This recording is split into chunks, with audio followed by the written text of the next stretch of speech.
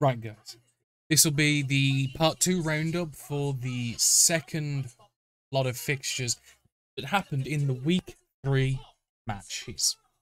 This is going to cover two matches the All Dwarf tie of the Memento Moris versus the Hairy Rainbows, and the Badlands Blackhawks versus the Hodgepodge Villains.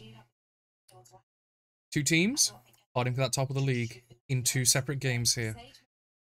And they're playing each other the next fixture.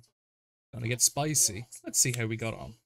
The Memento Moris versus the Hairy Rainbows ended in a 2-1 victory for the Memento Moris. If not for a second half collapse, the Hairy Rainbows could have very, very well been on for a spectacular upset of the season, scoring their second ever touchdown historically by their coach Tom. Well done, dude. You're getting better. Keep at it. But the Memento Moris, with the edging tactics and know-how, managed to get the upper hand and get that vital turnover in the second half, causing a 2-1 victory and a 1-0 victory on casualties. It was a meat fest. It was a slobber knocker. Not much in the way of Hurdy, because, you know, they are tough, they are stunty, and they are pains in the fucking bearded asses. Very, very interesting game. Not much more can be said going into the other fixture, the Badlands Blackhawks versus the Hodgepodge Villains. These little stunty little bastards continue to impress and improve and exceed expectations beyond all recognition. A clean 2-0 victory to the Hodgepodge Villains with a 1-0 on CAS to the Badlands Blackhawks. But from what I've heard, the injury was not that bad and the the poor fella that did the casualty has since been eaten by his own players. Very, very upsetting, I'm sure. All families involved have not been told they will not receive severance pay. They will be left out from the crowd.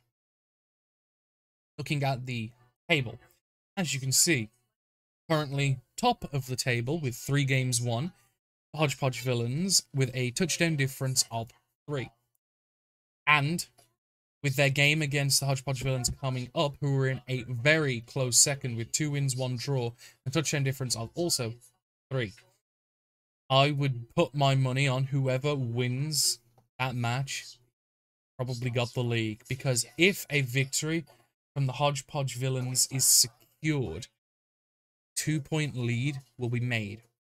If the Memento Moris win, surely be unsurmountable. In third place, the Badland Blackhawks on one draw, one win, one loss. Followed by the Blue Shorts boys. So the Blackhawks are having it large in the middle of the pack on eight points. The Hairy Rainbows, for the first ever time, Tom, you have a team that is not, I repeat, not last.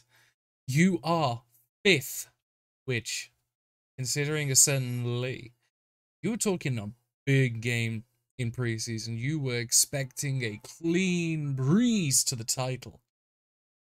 You, sir, on five points also, but on worse touchdown difference than the Hairy Rainbows, with on draw, two losses. You holding up the board in the wooden spoon contention. I will now show you all of the beautiful, beautiful touchdowns, casualties, and all things in between.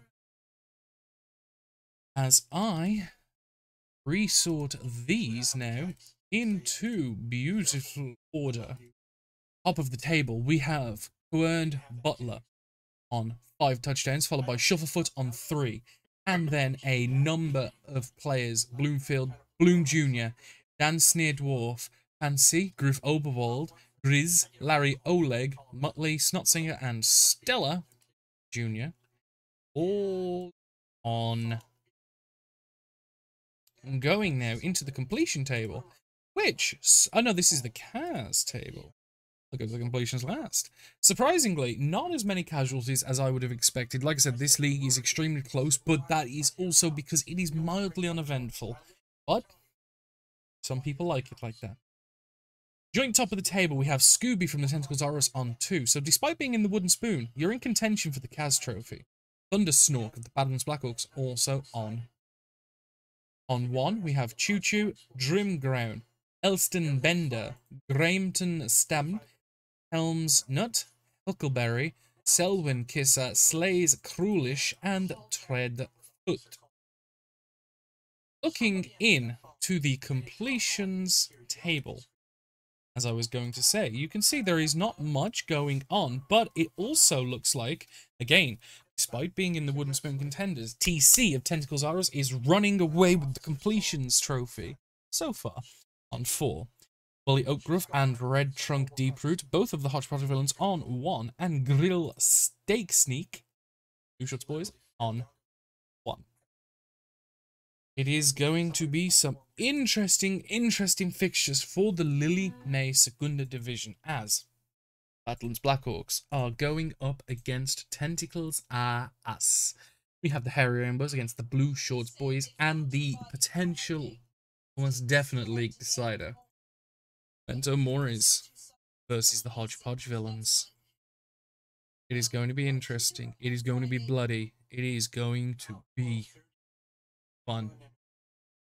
Please do make sure you watch. Do make sure you listen. And for those uh, coaches, we salute you.